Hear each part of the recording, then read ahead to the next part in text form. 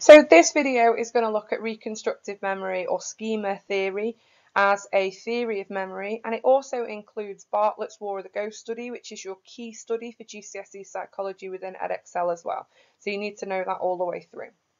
Reconstructive memory then is the theory that memories are not exactly what was encoded. So this idea that memory doesn't work like a video camera, you don't just press record and then remember everything exactly as it happened.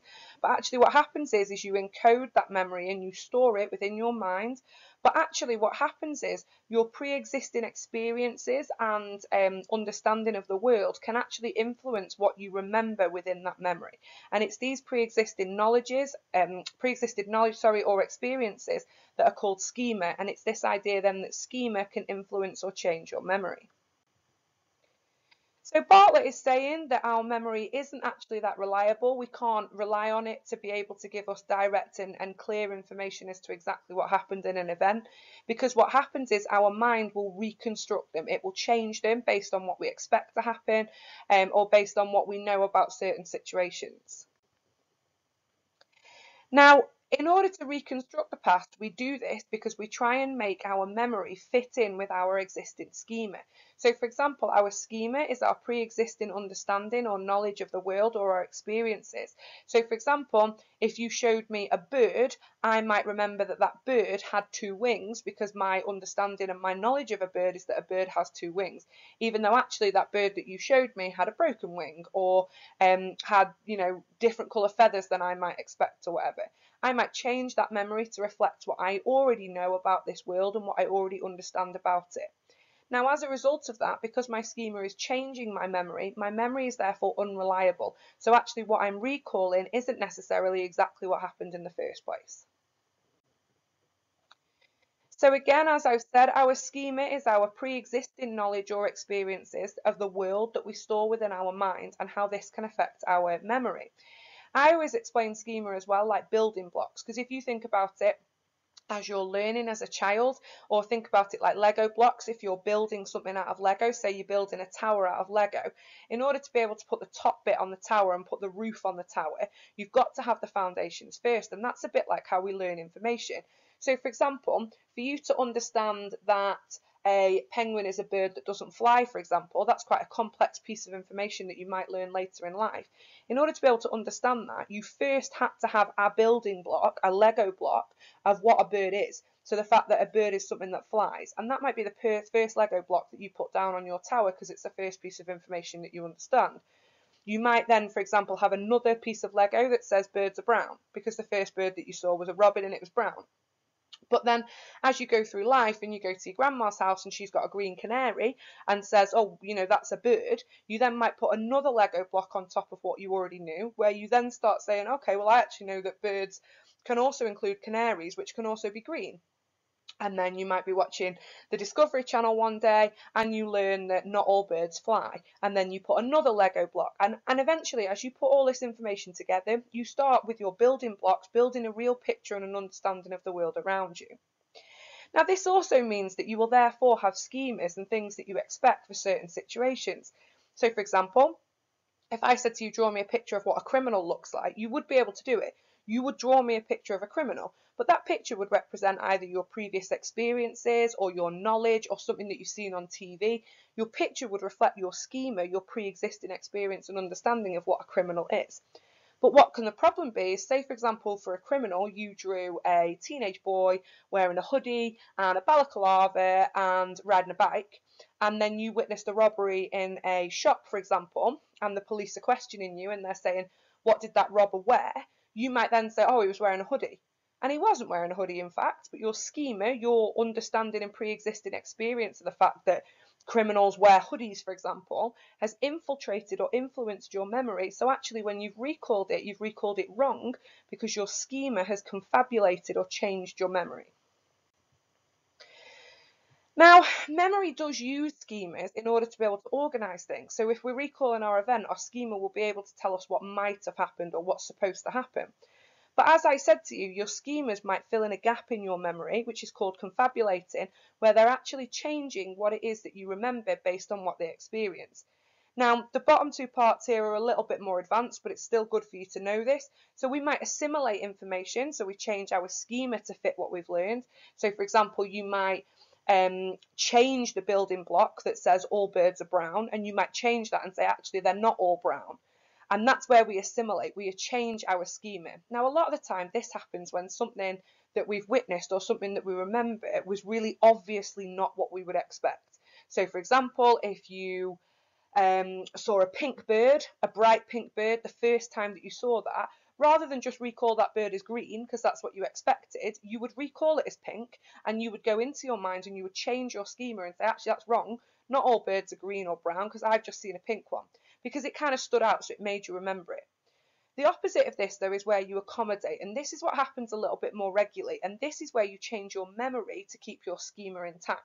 So, for example, you wouldn't remember that that bird was pink. You would say, no, no, no, birds are always green or brown, um, and therefore you would recall that bird as green or brown because that's what your schema says. There's just an example of a quick exam question, something that you might be asked on this, but you can see here um, AJ is in a psychology class and a female intruder enters. She threatens the teacher and takes the mobile phone.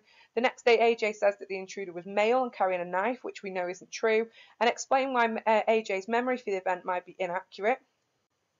It's obviously talking about schema and reconstructed memory here because it's this idea of not being able to recall information correctly.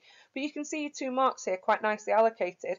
Reconstructed memory theory suggests people actively reconstruct events using their schema. That's your first mark.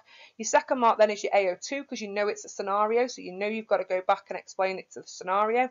So AJ's schema of an intruder might be might reflect the fact that his pre-existing experience of an intruder might be male and carrying a weapon, and that's why he's changed his memory. Okay, so Bartlett's War of the Ghost. So as I mentioned, I appreciate this is a long video, but this is because this is your key study for this. So you have to know this study inside out. You have to know the aim, the method, the results, and the conclusion in lots and lots of detail. Now, Bartlett's study or Bartlett's aim was to investigate whether the memory of a story can be affected by previous knowledge and to find out if that cultural background and the unfamiliarity of a different culture's story would lead to that distortion of memory while it was recalled. He also wanted to test this idea then if whether memory is reconstructive and whether people do store and retrieve information um, for expectations which are formed by cultural schemas. Now, to do this, he actually took 20 British participants, there were seven women and 13 men, and the participants were not told the aim of the study, so think ethics. Uh, they believed that they were being tested on accuracy of recalls, there's a bit of deception there, that they didn't know what was going on. Bartlett then used what we call a repeated reproduction, which is basically where participants hear a story or they see a drawing and they're asked to reproduce it after a short time and then do it again over a certain amount of days and then again after a certain amount of weeks, months, years, etc. Now, the story he used was a Native American story called The War of the Ghosts, which is particularly unfamiliar to the participants, and he purposely chose it because it contained unknown names and concepts um, to make sure that the story content was totally unfamiliar for the participants. Now, the story was selected because it would test how memory may be reconstructed based on cultural schemas. So what happened was each participant read themselves the story twice and the first reproduction was 15 minutes later. So there was no set interval beyond this and actually the participants recalled the story at further intervals from, you know, some did it 20 hours later, some did it 10 years later. Now, Bartlett found that these participants changed the story as they tried to remember it, and this happened even from the early stages, so right from 15 minutes, and then throughout the further reproductions. Now, overall, participants kind of preserved the order of the events and the, the kind of main themes, so they got the gist of what was going on in the story. But the reproduction of the style was often changed, and the reproduction of the story was also kind of starting to be transformed as they tried to change what things were going on. Now, seven of these 20 participants omitted the title, so they totally forgot the title. And 10 of the participants actually changed the title from War of the Ghosts to A War Ghost Story.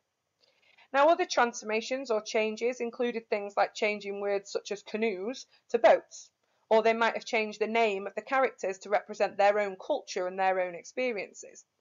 Now, much of this content was rationalised by the participants who changed material to make it more acceptable to them, now, Bartlett called this effort after meaning. So basically, for example, participants were changing the story so that it made sense to them to help them to remember it. So such as the young man did not feel sick, but nevertheless they carried on going home. Now, in order to conclude what Bartlett found here, he actually said then that the accuracy in the reproduction of the story is an exception rather than a norm of memory. So he's actually saying that memory isn't very accurate. He says that style, rhythm, and the precise way that a story is constructed is often really rarely reproduced. So he's saying that we're never really accurate with our memory. After repeated reconstruction, so the number of times that they've told the story, the form and even the items of the story can become stereotyped. So actually, we can totally change the point of that story to represent what we would expect to happen. And actually, they don't change much after that stereotype has happened because it's easier for us to remember things that fit in with our schema or our beliefs. However, with infrequent reproduction, so omission of detail, simplification, um, and transformation, then this can carry on forever. So participants can continue to forget details the longer and longer that they wait before they recall a story again. There's also a significant amount of interference with the story from reconstructing it. So, for example, we're changing things and details of the story to fit in with our own interests and things that we would expect to happen.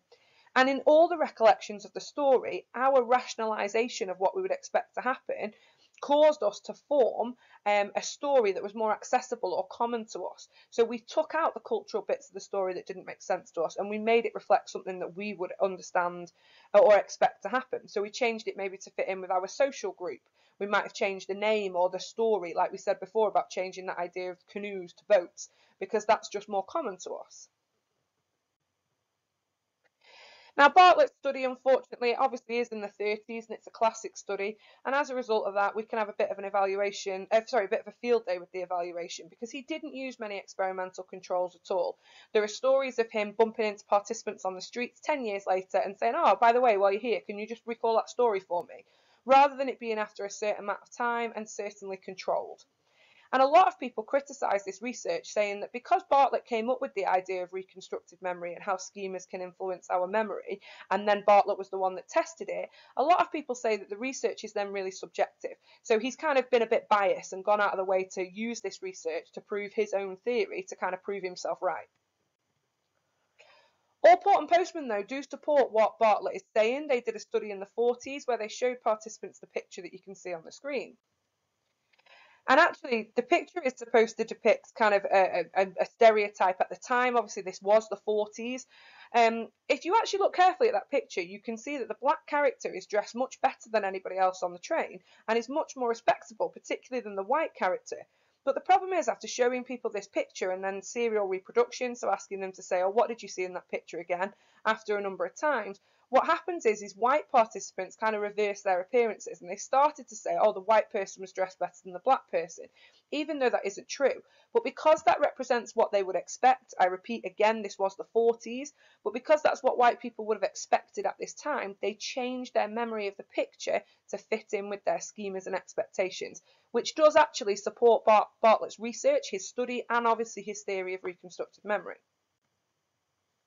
Loftus and Palmer, again, they did a, a, study where they basically showed the influence of leading questions or how a verb can change our memory. So, for example, they showed participants a car crash and they asked participants to recall the speed in which the car was travelling, but they changed the verb that they asked participants every time. So, some were asked how fast the car was travelling when it smashed into the other car.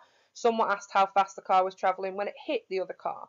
And what Elizabeth Loftus found is that when you change that verb, um, the speed that the car was travelling or the estimated speed from the participants changed as well. So participants said that the car was travelling faster when they were asked how far the car was travelling when it smashed the other car than when they said how fast was the car travelling when it hit the other car. So again, this idea of a verb or a word can change or influence our memory. Now, a strength of reconstructive memory isn't just what we've just said, but it's low. There is so much research out there that suggests that our memory is susceptible to change and isn't very reliable and can be changed by a number of different factors. We've already said that Bartlett's research isn't scientific, it doesn't follow standardised procedures, it's not got controls in place, and therefore we can start saying that it's subjective. We can also criticise this for being particularly unrealistic. So how often are you read a story from a different culture and then asked to recall it? So we can say that it kind of lacks mundane realism in terms of what we're being expected to do. But it also lacks ecological validity because he claims that it, the story itself was so strange in what he was asking participants to do that it wasn't like real life at all, which makes it really difficult for us to apply the findings. However, it is worth noting that Bartlett says it had to be like that. If I gave them a story where it was of what they've expected, then he wouldn't have been able to see the change in the story. So he's saying it had to be really strange to them. It had to be a really strange story in order to be able to see how they dealt with that brand new information. Again, we talked about Allport and Postman, but actually this is hilarious. This study itself is an example of Chinese whispers because if you Google this and you say, oh, what picture did they use? If you look on the screen now, they'll say it was that picture, which is a totally different picture than the one I showed you five minutes ago. So it's really interesting here where different websites claim that Allport and Postman used a different picture than they did. So we don't even know how reliable the results of that study are. Just an example, this is obviously an AS question. I appreciate you're doing GCSE, but you can pause and have a go at this. It's the same kind of style AO2 question, applying why information might have changed. And the mark scheme, if you want to just pause and have a look. I'm going through these quite quickly, but again, please feel free to pause the video at any point and have a go at these questions. And then the mark scheme for this, for Bartlett study. Again, a couple more examples here for AO2 questions that you can have a go at model answer here for you to read. Another example, this is old spec again, but it doesn't matter. It's still a good opportunity for you. The mark scheme.